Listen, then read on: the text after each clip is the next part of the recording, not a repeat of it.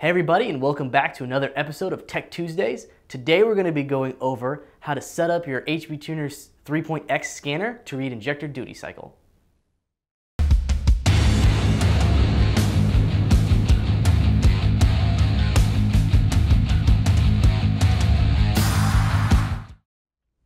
If you guys have been watching our earlier Tech Tuesday videos, we did one not long ago on how to tell if you're out of fuel injector. Now during that video, we referenced a lot of injector duty cycle and how to read and how to use it to tell if you're out of injector. Now, if you're using the provided layouts that we have on our website for Ford or GM, injector duty cycle is already gonna be set up for you. But let's say that you're not using them and you need to know how to actually set it up. So there's something that you're gonna need to know, and that is that it's not really a PID and something you can record. So if you were to go into the channels list and type in injector duty cycle, you wouldn't actually be able to find it. And this is because it's a calculation that HP Tuners is making in the background. It's taking one, two, or three PIDs and it's calculating them together to give you that injector duty cycle number. So now that you understand that, let's go into the scanner so you can get a better representation of how to actually set it up. So the example that we're going to use today is for a Corvette, but the process that I'm going to show you here carries over for both Fords as well as GMs. So don't worry if you're at home and you have a Ford the process I'll show you here, even though it's on a Corvette, is exactly the same. So what I've done is, is I've gone ahead and selected the uh, GM Gen 4 layout uh, for channels that the Tuning School has created. And I've done the same for GM Gen 4 chart versus time that the Tuning School has created. So these are both things that you can download off of our website. And like I said before, normally they would already have injector duty cycle in them but I've gone ahead and removed the parameters we need so I can show you exactly how to set them up. So the first thing that we're going to do is we're going to go into the channels section and we're going to right click and go to add channel. So we need a couple of different channels in here to actually be able to record injector duty cycle.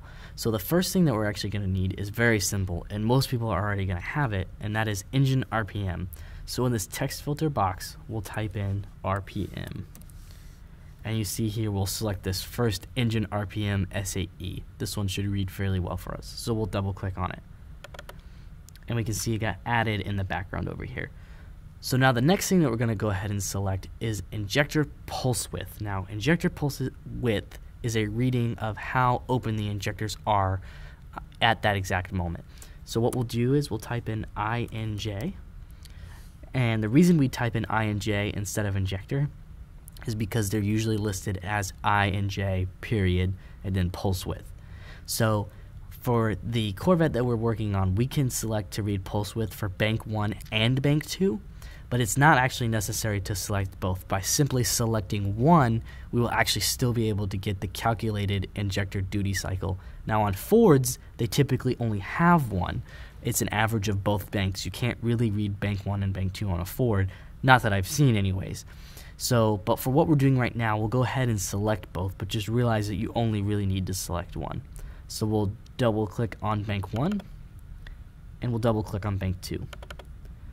At this point, we have all of the PIDs we need inside the channels area to actually read injected duty cycle. So we can close the channel selector window, and then we'll go over to our chart versus time area so we can add injector duty cycle over here. So we're going to right click, we're going to go to charts layouts. And then in this first group here, we will input injector duty cycle. So we'll have to go to the add series icon, which is right here. Once we're here, we will need to change the parameter to injector duty cycle.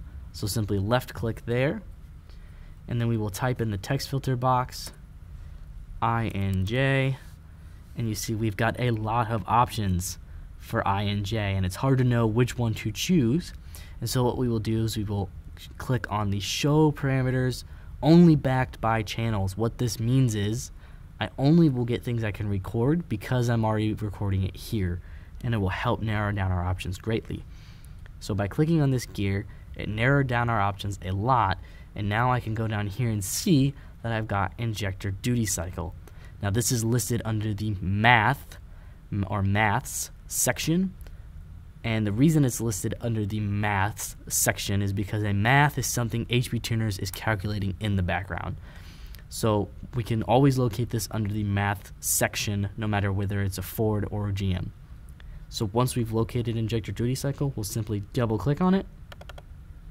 We'll make sure everything is set up how we like here. We're reading in a percentage for our unit, which is exactly what we want. We're reading from 0 to 100, which is what it will display in visually, and then the color is white. And what we'll do is we'll change this color to blue because we can already see that cylinder air mass is in white. So we'll simply click on the color box, select blue, then click OK.